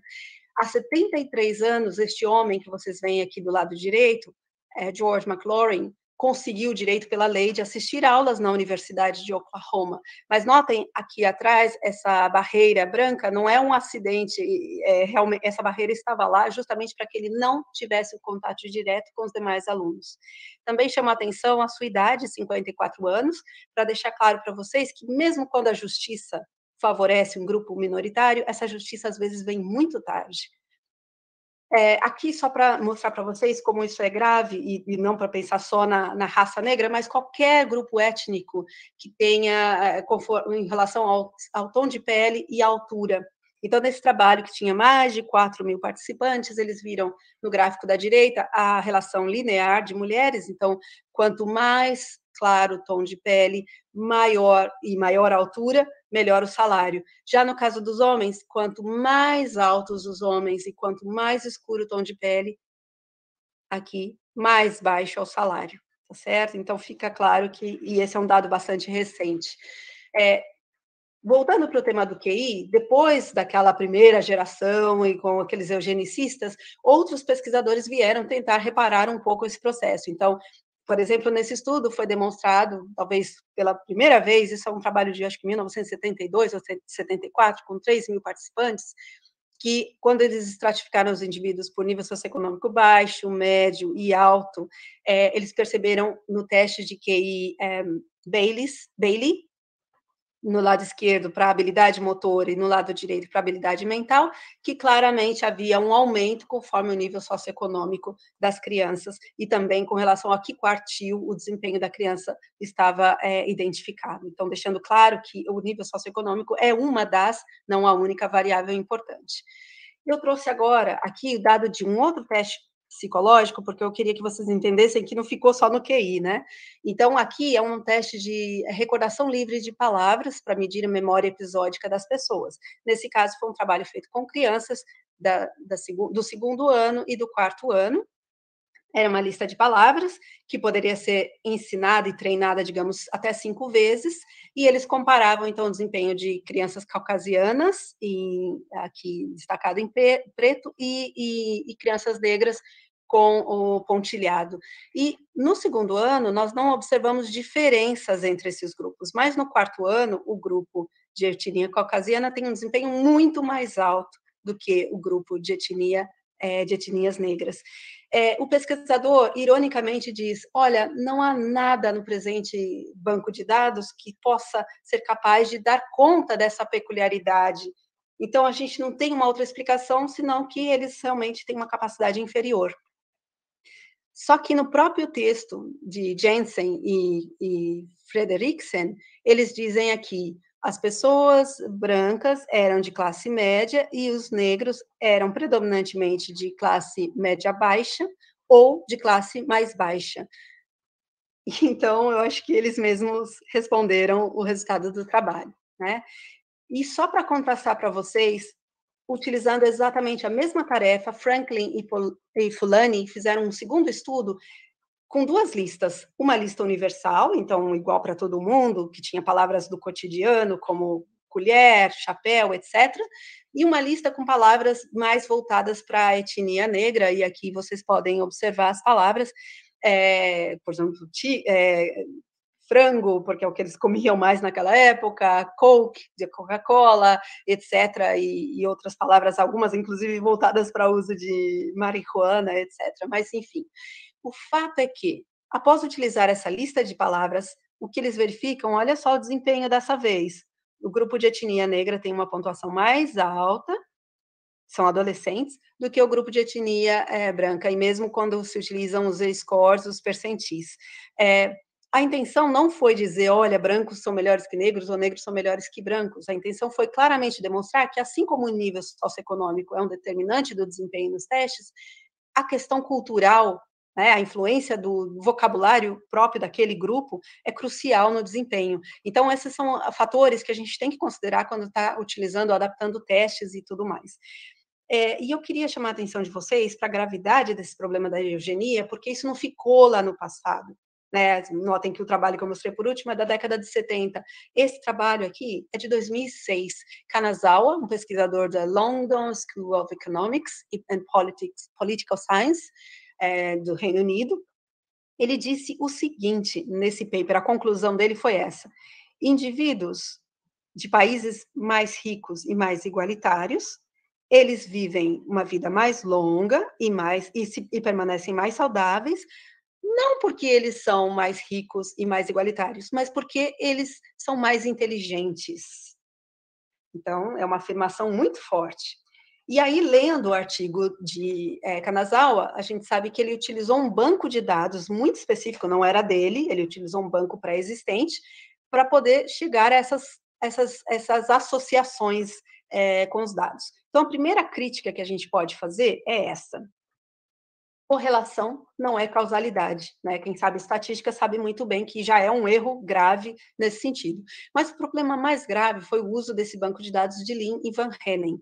Então eu em vez de usar as minhas palavras, eu trago aqui um outro artigo publicado por Dickens, Sears and Wells, em que eles fazem uma crítica pesada sobre o trabalho de Kanazawa e chama atenção, mais uma vez, para esse banco de dados de Lean Van Henen, dizendo que nesse banco de dados, os dois autores referem ter é, informações de 185 nações. Então, imagine, quando você ouve isso, você imagina, ah, foi abelhado QI de pessoas de 185 países, certo? Errado. 81 casos eram meras estimativas, ou seja, nenhum psicólogo foi lá e aplicou um teste naquele grupo de pessoas para chegar a essa conclusão. Eles simplesmente calcularam uma média em função dos países próximos. Então, já podem imaginar o que isso significa.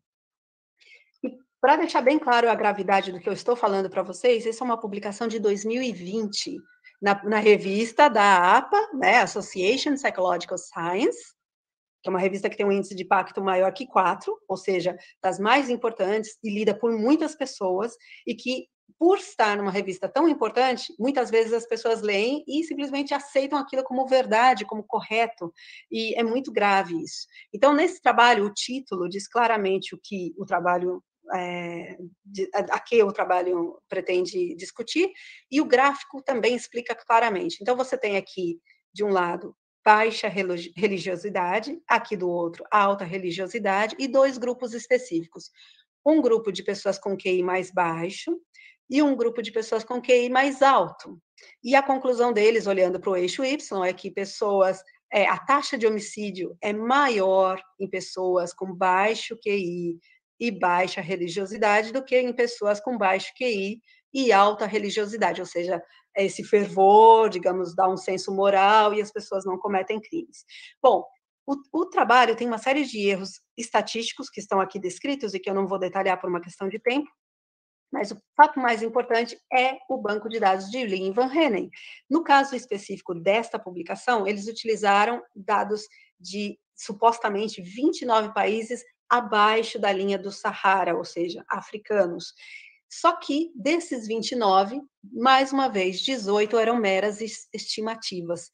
É, então, não sou eu que estou condenando esse trabalho, é a própria European Human Behavior and Evolution Association que diz claramente esses dados de Lin e Van Henen são sistematicamente enviesados contra certas nacionalidades e etnias. E, portanto, de tanta pressão que houve dos pesquisadores, isso é um, um Twitter que essa pessoa fez, que é um dos autores é, aqui destacado, Azim Sharif. Então, Azim acabou fazendo essa declaração de que o paper seria retratado ou retirado, isso quer dizer que é retracted, né, é, bom, não me lembro como se diz em português, mas ele foi retirado, e isso quer dizer, então, que as pessoas já não podem nem acessar e nem, nem ler, e muito menos citar esse trabalho, tá certo? Então, ele deixou de existir. Mas a gente tem que entender que a eugenia tem uma relação direta com a política, seja como causa ou seja como consequência, né? Na verdade, é uma bola de neve, uma coisa entrelaçada com a outra. É, deixa eu ver quanto tempo eu tenho. Sim, tem mais seis minutos. Então, por exemplo, é, Donald Trump diz: por que nós queremos todas essas pessoas da África aqui? E o Boris Johnson diz: seja qual for o que, seja o que for que você pensa a respeito dos, do valor dos testes de QI, nós sabemos que isso tem uma importância para a igualdade, e em que 16% das nossas espécies têm um QI abaixo de 85 e apenas 2% vão ter um QI elevado. E aí ele fala que essa discrepância entre esses dois grupos está ficando cada dia maior, e ele complementa no discurso que isso é bom para a economia, tá certo? Então, não preciso dizer nada mais. Aqui eu queria mostrar, então, esse dado do Brasil, é, eu sei que essa decisão foi revogada, mas a gente sabe que isso aconteceu agora, no ano passado, durante a pandemia. Então, o antigo ministro da Educação é, fez essa retirada da, das cotas. Eu acho que é importante dizer que as cotas surgiram apenas em 2012, ou seja, tem nove anos dentro de todo o tempo do nosso país. Então, será que em nove anos foi tempo suficiente para reparar, né, digamos, para produzir igualdade para estudantes negros, indígenas e pessoas com deficiência que queiram estudar? Então, fica claro que não, e fica claro também que não é só no exterior que isso vem acontecendo. É, então, para tentar pensar como nós podemos combater essas desigualdades, o primeiro é uma meta mais global, então, assim, digamos, as nações, né, os países é que têm que se implicar nas metas de desenvolvimento sustentável, nós temos 17 metas, todas elas vão melhorar o nosso planeta e melhorar a vida das pessoas, particularmente a que, que se, de, se, dedica à redução de desigualdades, a outra também que diz sobre a igualdade de gênero e outras coisas. A segunda forma de melhorar esse cenário é ativismo puro. Então, nós realmente precisamos Black Lives Matter, cada dia mais intenso, cada dia mais ativo. Nós precisamos de Black in Euro é, e todas as hashtags desse mundo e ações mais, mais contundentes. A marcha das mulheres indígenas do Brasil, a marcha dos indígenas também do Reino do, dos Estados Unidos. Então, no mundo inteiro, esses grupos também têm que se mobilizar. Aqui, por exemplo, essas, são, essas mulheres são membros do parlamento é, polonês, que tentaram mostrar já uma lição para o presidente Andrei Duda, de que elas não iriam aceitar um comportamento homofóbico vindo dele. Então, o ativismo é importante em todas essas esses grupos é, em que a gente tem as, as interseccionalidades.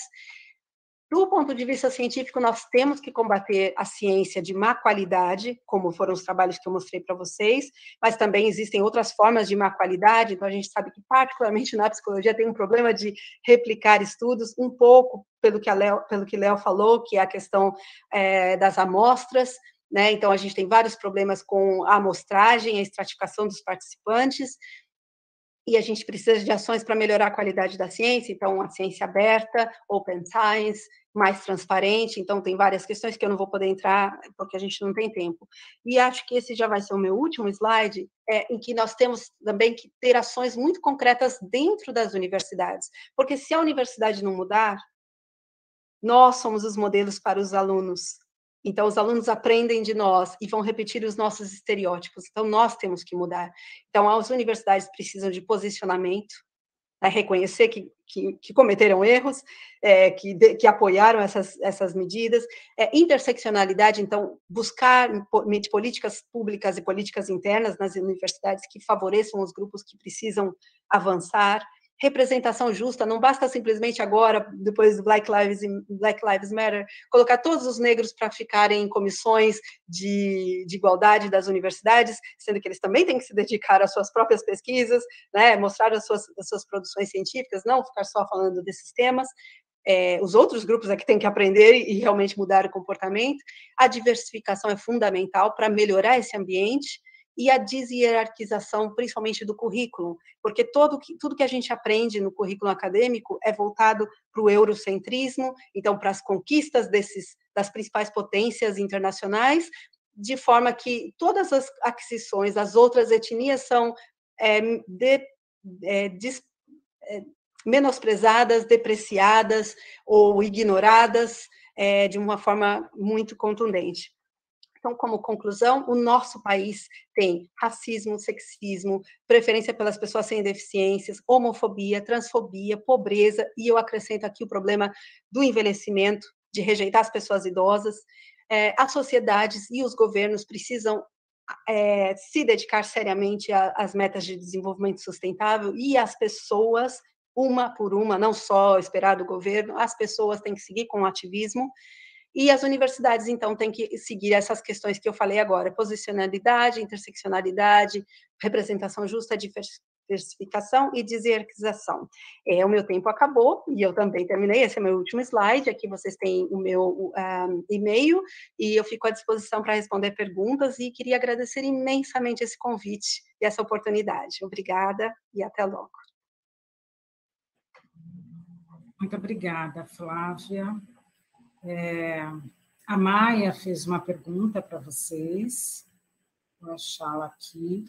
Ela pergunta, ela gostaria de saber é, se vocês chegaram a considerar o recorte do aprisionamento, pois, ao menos no Brasil, a seletividade penal aumenta consideravelmente a vulnerabilidade ao aprisionamento de pessoas negras, pobres, jovens e usuárias de drogas. Né? Então, Queria saber isso de vocês. Gostaria de saber se tem mais alguma pergunta. A Cíntia tem, o Pierre também, e eu também quero fazer uma pergunta na sequência. Bom, com relação a essa questão do, dos presidiários, é, eu tive a oportunidade para uma outra aula de dar uma olhada nesses dados, e eu, inclusive, encontrei dados do Brasil, são um pouco antigos, eram de 2010, não encontrei nada mais recente, mas o fato é que a gente vê baixa escolaridade, maior é, número de pessoas de etnia negra sendo presas e um, um grave risco de é, tuberculose, então as pessoas estão morrendo dentro dos presídios. Eu falo lá da história do Carandiru também, né? E, e, inclusive que os presos estavam lá e estavam desarmados, estavam nus, justamente para mostrar para a polícia que não tinham armas. E então esse é um problema muito sério, mas tem um detalhe que eu acho que tem uma direta relação com a psicologia, que são pessoas que normalmente têm muitas vezes um QI mais baixo ou não tiveram oportunidade de estudar. E outro detalhe é que esses jovens que estão presos, predominantemente, predominantemente têm menos de 30 anos de idade. Então, a idade em que eles constituiriam família, que eles constituiriam laços, é, que dariam outros reforços emocionais e cognitivos, que eles poderiam estudar, é o tempo que eles estão presos. Então, eles, quando se saírem, se chegarem a sair de lá, vão para um lugar ainda pior, porque não tem de onde começar, né? É, Léo, não sei. Então, o veículo de, publicação que a gente analisou, a gente não chegou a considerar esse aspecto. Eu anotei aqui, vou dar continuidade, como eu disse, é um estudo ainda que está em andamento. Já fui anotando muitas coisas, Flávia, da sua fala também, para considerar e ampliar mais o escopo de análise do nosso estudo. Inclusive, já quero deixar aqui aberto o convite para parcerias, para que a gente possa estar tá desenvolvendo tanto essas ou outras atividades também. A gente começou pouco nessa em grupo de WhatsApp. Acho que a gente está com tantas mensagens né, nesse contexto de pandemia, a gente acabou tendo esse contato mais próximo só mesmo no dia do evento e acabou que não teve tanto. Mas eu anotei também aqui várias coisas do que você foi falando na sua fala que serão considerados nos nossos estudos, tanto nesse quanto nos estudos futuros, com certeza. Obrigada. Obrigada. É, Cíntia, por favor. Oi, gente, boa tarde. É, eu tenho perguntas para o Léo e para o professor Léo, professora Flávia. É, simples, porém complexas, e daí eu vou tentar fugir da academia. porque para além de ser psicóloga, eu sou educadora social e estou aí fazendo alguns estudos sobre neuropsicologia, então vou, vou pegar por aí. Para o professor Léo, a primeira pergunta é se tem pessoas pretas no grupo. Eu andei ali pelo Instagram, e daí eu queria ouvir a resposta de você. É, a segunda pergunta para o professor Léo ainda é como foi olhar para a racialização no que tange a negritude? Como foi para você, para o grupo, enfim, não sei se já perguntou isso para o grupo, mas enfim. E a terceira ainda para o professor Léo é se é possível é, para você, na sua visão de pesquisador, enfim, olhar para a avaliação psicológica é, de uma forma mais inclusiva, no que tange a raça. Para a professora Flávia, eu viajei, viu? Aqui, viajei muito longe. É, aí eu fiquei pensando nessa questão dos estudos de neuropsicologia feito por pessoas brancas, pautados nessa estrutura da, que a branquitude nos apresenta e coloca a população negra indígena como não, não lugar, não existente, não inteligente, não nada, né? A partir disso, é, queria saber um pouco se você acompanha a temática da negritude dentro dos seus estudos, é, a partir também de uma visão da psicologia social, dos estudos de subjetividade, da branquitude, né, se está considerado essa racialização, porque a gente fala da racialização, mas quando a gente não fala que tem negros, por exemplo, no rolê, tem brancos e está racializado, só não fala, né? É, outra coisa é saber da questão das referências bibliográficas brasileiras e africanas, né? É, porque a gente tem que mostrar a amostra, né? A neuropsicologia, a neuro fala muito de amostra e quando a gente mostra a amostra, o recorte é científico. Quando a gente não mostra, é holístico, né? Então, mostrar a amostragem, aí estou aí solicitando referências brasileiras e africanas, enfim, um pouco dessa troca. É, outra coisa é, se, se sabe né, como estão tá os estudos em África, e por fim, que eu acho que passa um pouco para a questão da pessoalidade, que foi respondendo um pouco nos últimos slides, é que ativismo puro só, como estratégia para combater o racismo, ele não sustenta. Então, a gente precisa de uma rede de cuidado e a gente precisa de uma série de outras coisas, porque ativismo puro, ele também adoece, né? Ele deixa a gente, em algum momento, desorganizado, mergulhado na loucura, enfim, uma série de coisas. Então, a gente precisa de uma rede de cuidado. E, e a partir dessa visão é que eu fico pensando é, como que foi a sua descoberta como mulher negra nesse lugar histórico hoje, porque você traz a, a contextualização da neuro, você contextualiza a história, e daí eu queria saber é, é e aí, de forma rápida, né? Porque vai passar pela pessoalidade, mas você, sendo uma mulher negra. Gente, por favor, de forma rápida também. A tem já acabei, já acabei. Pierre, favor. É, boa tarde, gente. É, fazer uma pergunta para a professora Flávia. Assim, você está falando do, do, do, coração do capitalismo, assim, né, onde tudo começa. A gente tem os americanos com 40% de negacionistas que não se vacinam um Estado que gasta 52% do PIB com indústria armamentista. Né? É, a gente tem a África com menos de 10% de pessoas vacinadas contra a Covid.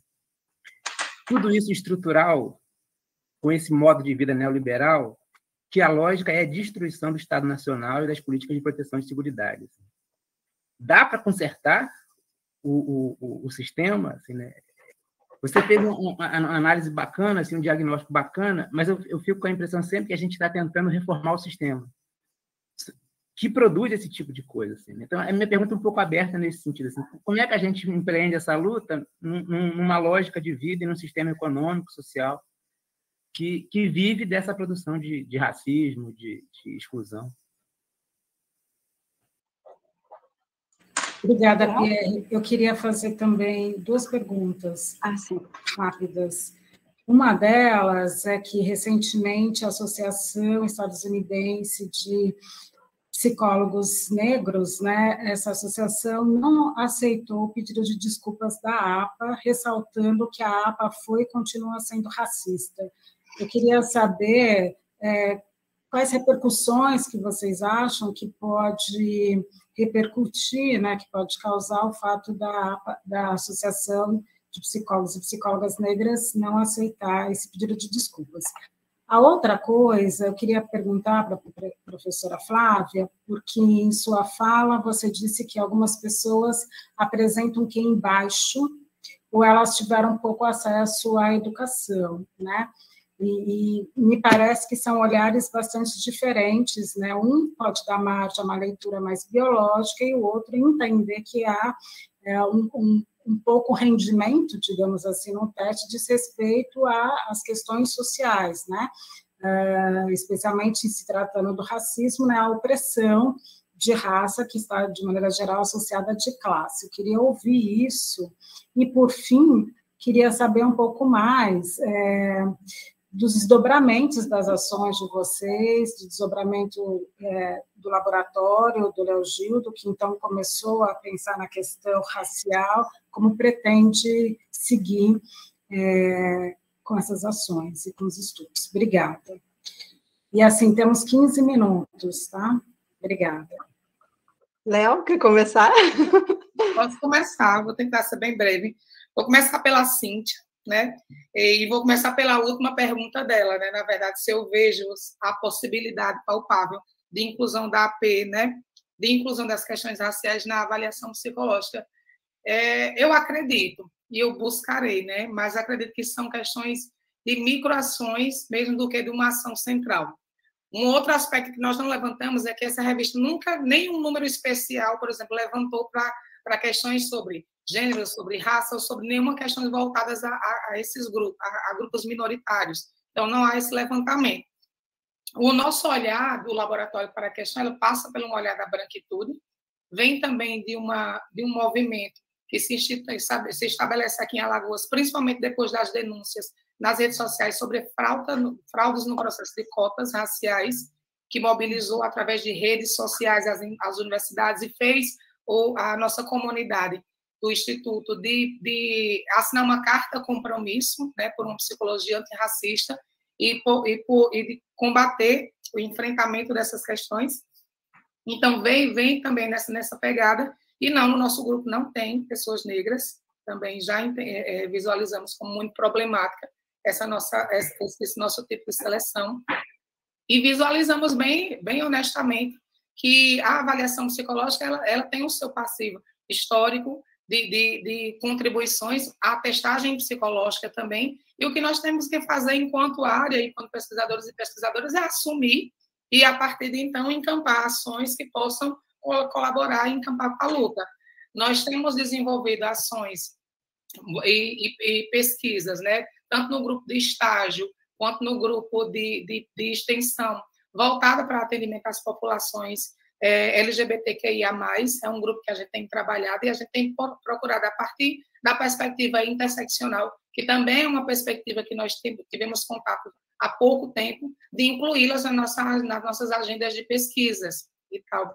É, é muito complicado como que a, que, a, que a área, e cada vez mais eu venho visualizando isso, não só nessa análise, mas como essa área e a, própria, a minha própria prática tem sido levantada nesses aspectos. Esses últimos anos tem sido de questionar por que na minha disciplina só tem autores homens e autores brancos e não tem autores e autoras negras? Por que, que a avaliação psicológica ela só tem referências lá do eixo sul-sudeste, não tem do nordeste, não tem do centro-oeste, não tem da região norte? Então, esses elementos a gente tem incorporado. Então, a gente tem buscado incluir autoras, a gente tem buscado incluir estudos e trabalhos do Nordeste, da região Norte, da região Centro-Oeste, com exceção da UNB, considerando esses trabalhos e apontando como essa seleção ela é problemática. Então, o nosso trabalho tem sido a partir desse local. As nossas ações têm sido também a partir desses locais. É uma ação bem mínima e bem pequena mesmo, acho que a gente está longe de alcançar. Mas nós pretendemos, inclusive, fornecer um relatório para a revista de avaliação psicológica, apontando esses aspectos, né, que são problemáticos em diversos níveis, são 10 anos de pesquisa, são 498 estudos publicados que reforçam, inclusive, essa invisibilidade. Então, nós iremos apresentando. O paper vai ser submetido para essa revista, então, nós não sabemos como os desdobramentos vão se dar em função desses aspectos, e com esse título, desalinhamentos junto aos critérios de reconhecimento e validação a partir dos direitos humanos da pesquisa em avaliação psicológica brasileira. Então, a gente tem a nossa intenção é disparar esse debate e apontar mesmo os dedos na nossa própria cara, né? enquanto a área de avaliação psicológica, e pensar as, as contribuições que a gente pode dar no campo da formação, que é onde eu atuo, né? eu sou docente do curso de graduação e de pós-graduação, revisitando a minha prática, né? Esse, essa, essa revisão, revisitação, ela é bem recente mesmo, e eu procuro, a partir de então, é, é, revisitar mais e colaborar mais, porque, de fato, é, a gente não tem colaborado. Essa é a fala que eu, que eu ia trazer nesse sentido. Quanto a não, o, o, o, não aceitar o pedido de desculpas é mais do que plausível. Faço o coro também não aceitar. Mencionei a, a decisão da APA no sentido de encaminhamentos para a área de avaliação psicológica, inclusive a, a, o trecho de, de, instrumentos de avaliação é citado, e eu trouxe esse porque casava exatamente com o tipo de, de, de informações que eu estava levantando. Então, se a própria, a, se a própria associação ela, ela sugere que sejam utilizados procedimentos mais adequados, nós precisamos lançar olhar né, para os nossos veículos de publicação e repensar, pois os nossos procedimentos não têm sido adequados né, e nem contemplativos. Então, é mais ou menos por aí. Obrigada, Leogildo. Flávia. Tá certo. Bom, são muitas perguntas, então vai ser bem difícil responder rapidamente, então eu vou tentar falar das coisas principais. É, bom, é, adaptação de testes. Quando eu tive a oportunidade de fazer isso no Brasil, é, eu fiz vários instrumentos com colaborações internacionais, e eu me lembro uma, uma vez que eu escutei um francês dizendo para mim assim: você está escolhendo muito as crianças. Eu falei, não, você não está entendendo. Né? Justamente porque eu tinha essa consciência de nível socioeconômico, eu tinha consciência dos grupos étnicos. É, reconheço, Léo, como meia-culpa, digamos assim, e também a minha responsabilidade. Nós, nas nos, nos nossos trabalhos, nós nunca colocamos estratificados por grupos étnicos, nós não colocamos mesmo é, porque era uma outra realidade, isso foi alguns anos atrás, hoje eu já gosto de e tento fazer diferente, mas acho que um ponto importante aí é que é, exatamente nós estávamos tentando garantir que a gente estava colocando crianças que fossem iguais em termos de capacidade para de fato ver o dado normativo do teste, porque senão a gente não conseguiria fechar isso. É, uma das coisas que eu sempre tentei fazer para controlar nas minhas pesquisas foi priorizar, não, não unicamente ter, mas priorizar amostras de escolas públicas, porque pelo menos a gente sabe que ali está a maioria pobre, então ajudava pelo menos a ter uma distribuição melhor. Com relação a estudos na África, é, eu tive o privilégio de, de, de, de, participar de uma banca de uma tese de doutorado é, feita na África do Sul é, sobre testes de memória operacional, os mesmos testes que eu adaptei no Brasil também e por isso mesmo que eu fui convidada. E, assim, a situação ainda é muito mais difícil, porque aqui, pelo menos no Brasil, em teoria, todas as crianças falam português, com exceção, obviamente, dos grupos indígenas e alguns grupos quilombolas isolados, mas, assim, é realmente uma minoria, mas, de um modo geral, os brasileiros falam português. Agora, dentro da África, no mesmo, na mesma cidade, você tem mais de 10 dialetos. Então, é, eu, eu, acompanhei o processo na tese, a pessoa descrevendo para a defesa, como foi difícil é, a tradução de testes. É impossível, ninguém tem dinheiro, primeiro, para pagar uma tradução oficial, de testes que são auditivos, testes que são verbais, e colocar em todos os idiomas, é, todos os, os, os dialetos. Então, o que eles faziam é ter sempre um tradutor, que poderia ser alguém da comunidade, mas note que olha a falha da, do processo, porque o tradutor pode traduzir como, né, de uma forma meio literal, do jeito que pode, a instrução não vai ser idêntica para cada criança. Então, assim, existe uma série de limitações no uso desses instrumentos, mas ainda assim é, há pesquisadores sérios e que fazem dentro do possível o melhor que pode ser feito. É, com relação à neuropsicologia, eu tenho que dizer que eu trabalho agora na Europa, e recentemente eu tive problemas porque eu queria justamente estratificar os participantes, é, só que em alguns países essas coisas são extremamente fechadas, então quando você pede para colocar né, os grupos étnicos, eu queria colocar até pelo menos por regiões, porque, por exemplo, se você disser só Ásia, Ásia, que é do lado da Índia, é uma coisa, a Ásia, que é a parte de Oriente Médio, é totalmente diferente, a Ásia, que é mais que nós brasileiros entendemos como asiático, né, o japonês, o chinês, etc., eles são um outro grupo completamente distinto. Então, assim, é, eu queria propor uma classificação diferente, eu encontrei uma resistência muito grande, muito difícil. Eu queria usar a classificação das Nações Unidas, que separa em pelo menos sete grupos de é, por regiões culturais, mas foi praticamente impossível. É, com relação aos testes de QI, é, eu acho que é importante voltar um pouco na própria fala do Binet. É, ele mesmo não considerava que o teste de QI media inteligência pura, né? ele calculava uma idade média e ele dizia que faltava ali outros componentes, como a criatividade né? e, e outros elementos. Então, assim, as medidas que nós temos, elas têm que ser pautadas para respeitar a cultura. Como? Ione, por favor, feche o seu microfone. Ah, é, elas têm que ser pautadas para a questão cultural, para a questão é, socioeconômica, etc., mas é, o teste de QI não tem uma função para ser usada da forma que foi usada naquela época, e mesmo hoje ela é usada de outra forma. É, mesmo o teste clássico de inteligência das escalas Wechsler, elas dividem em coeficientes diferentes, porque a gente sabe que são diferentes fatores que determinam essa capacidade intelectual. Então, a visão de inteligência também mudou muito ao longo desses anos, independente dessa questão racial.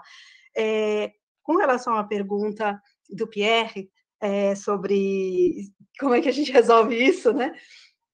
É, eu fiquei aqui, engra... foi engraçado, porque eu estava aqui com meu esposo, a gente, esse final de semana, estava vendo filmes, então eu estava vendo aqui um pedaço do Doutor Givago, então a gente estava discutindo a Revolução é, Russa, e aí a gente falou também, discutindo, né, como casal, é um casal interracial, que já é outra história, outro problema, e, e, nós estamos discutindo exatamente, por exemplo, a Revolução Francesa e a Revolução Russa, que foram na base da violência, né, para que as mudanças acontecessem, literalmente cortando cabeças.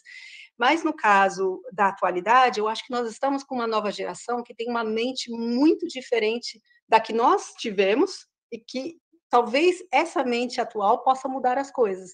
Porque é uma geração que, por exemplo, você diz: olha, essa revista cobra 3 mil euros para você publicar. E esses alunos dizem: não, eu não vou pagar esse valor, eu vou publicar numa página aberta e que qualquer pessoa vai ter acesso. Depois eu posso até procurar uma revista com índice indexada, com fator de impacto para publicar, mas eu vou publicar num lugar de acesso amplo. É, olha, tem que pagar o teste de estatística, né, o SPSS, não sei o quê. O que, que esses alunos fizeram? Não, agora eu trabalho com R que é um teste que é gratuito e que, que, inclusive, vai sendo moldado à medida que as demandas surgem. Então, eu acredito muito nessa nova geração que tem uma forma diferente de encarar os, os problemas. Eu não acho que a nossa geração, ou melhor, a geração que vem depois de nós, vai, vai lidar com isso com violência eu acho que eles encontraram um jeito de, digamos assim, olha, eu, se eu não me encaixo nesse mundo, eu vou criar o meu próprio mundo. Então, é isso que eu estou vendo nessa geração de é, pós-graduandos, de universitários e recém-doutores que eu tenho visto por aí. É, a última coisa que eu queria falar é sobre a questão de aceitar ou não aceitar as desculpas. Eu confesso que eu não acompanhei essa discussão diretamente, então eu não posso saber pelo teor, eu não sei qual é o teor da carta, então eu não posso dizer se eu concordo ou discordo, né?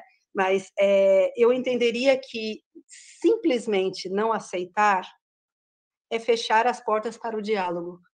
Então, eu, eu se, se, eu estivesse nessa posição, a minha postura seria: olha, não, minha, minha, meu papel aqui não é aceitar ou recusar, meu papel aqui é dizer quais são os meus novos termos.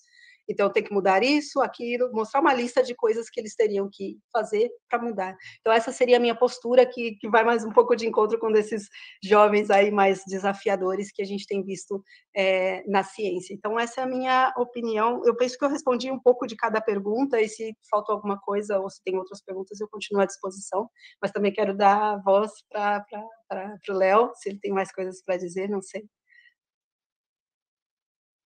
Eu tenho um aspecto, né? Eu vi que alguns colegas têm é, é, colocado aí possibilidades da gente fazer parcerias e contatos, e a gente está super aberto. É, no Brasil, Flávia, você deve ter acompanhado, a gente tem passado por muitas dificuldades na universidade pública brasileira, cortes dos mais absurdos, retrocessos em diversos âmbitos, das mais variadas. Então, a gente sobrevive mesmo sem financiamento pesquisa, Ontem mesmo saiu o resultado universal do CNPq, então meu, meu projeto não foi contemplado, a gente testa editais, a gente tenta viabilizar projetos de pesquisa, agendas de pesquisa, e nós temos muita dificuldade, né? já era uma dificuldade que era, que era a realidade da pesquisa brasileira, e nos últimos anos a situação tem, tem ficado cada vez mais calamitante. E a gente sobrevive de parcerias, a gente sobrevive de colaboração. E estar tá nesse espaço aqui, para mim, foi assim, fundamental. Então, eu agradeço, Ione, se a gente puder trocar contatos, será muito fundamental. A gente tem um levantamento, já fez, de pessoas com deficiência, a gente não incluiu né, no levantamento hoje por conta do tempo da fala, que, que me passa que era de 40 minutos, eu fiquei receoso de não contemplar, de não conseguir contemplar no intervalo de tempo e também não queria atrapalhar as falas.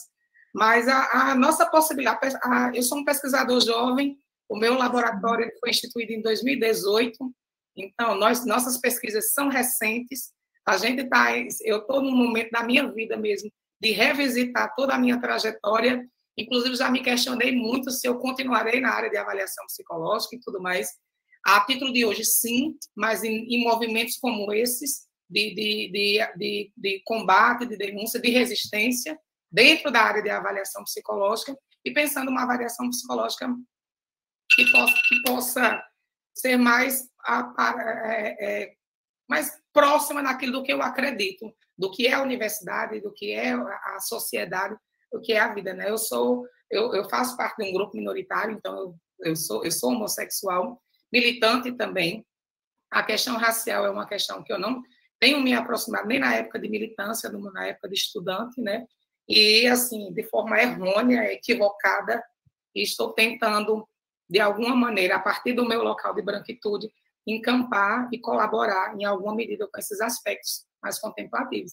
Então, acredito que ainda continuarei por aqui. Não sei os desdobramentos futuros, mas ainda estou vinculado à área de avaliação psicológica e pretendo ainda continuar mais com esses movimentos de resistências mesmo e de insistências. Né? Na verdade, é mais a gente já, a gente já resistiu bastante e agora a gente está na insistência, porque a gente olha para um lado, olha para o outro, na pesquisa, na ciência, na Universidade Brasileira, é só insistindo mesmo, porque se a gente parar para pensar, segue não nesse negócio.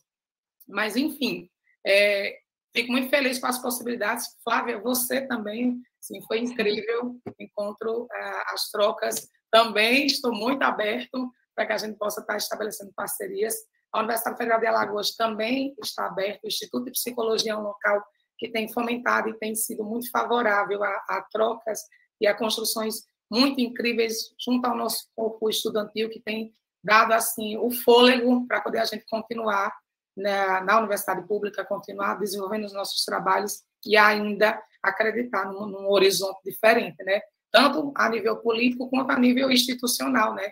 Que a gente também enfrenta entraves gigantescos a nível institucional, a nível local, né, com diversas outras dificuldades também, além das dificuldades a nível político, né, com governos, com as políticas ministeriais e com as políticas institucionais.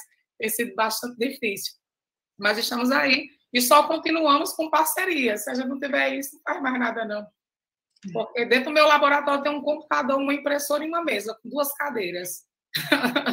e eu não sei nem como tá, porque faz tanto tempo que eu não fui lá, a gente trabalha nesse sistema remoto, eu não sei nem se existe, se as a infraestrutura permite ainda que esse negócio ainda esteja colocado. A Universidade Federal de Alagoas também é uma universidade de pequeno porte, ainda quando comparadas com outras do Nordeste brasileiro, mas é desse local que a gente, que a gente atua. E é com muito orgulho com muita satisfação que eu levo o nome da Universidade Federal de Alagoas, esse estado que me acolheu, essa cidade também, que é uma cidade que eu amo muito. Venham para Maceió, inclusive em outros momentos, conheçam Maceió, uma cidade linda, com praias maravilhosas, tem muita coisa boa aqui em Maceió também. Venham também me conhecer, a gente sai tomar um café, Meu né, Gildo, muito obrigada, muito obrigada, Flávia. É, esse cenário que você traz da universidade pública é um cenário que tem sido cada vez mais presente nas universidades do Brasil, mas é fato que na região norte nordeste, né, tem um sucateamento maior. E eu entendo isso como também algo que diz respeito às discussões é, relacionadas ao racismo, porque as pessoas do norte e nordeste, de maneira geral, não são vistas como brancas branquíssimas, né? Então, o investimento é menor do ponto de vista da política pública. E, Flávia, você respondeu as perguntas, eu vou te encaminhar é, daqui a pouco é, a resposta é, dos psicólogos e psicólogas da Associação ah, Estadunidense né, é, contra a APA, é, porque eles explicam, há uma explicação do porquê da resposta e proposições também. Acho interessante acompanhar. Obrigada, gente. A gente se encontra terça-feira que vem. Estamos caminhando para o final do nosso evento. É, boa semana para todo mundo. Mais uma vez, Leogildo e Flávia, muito obrigada. Abraço. Muito obrigada. Parabéns pela organização. Muito obrigada. Perfeito. Parabéns.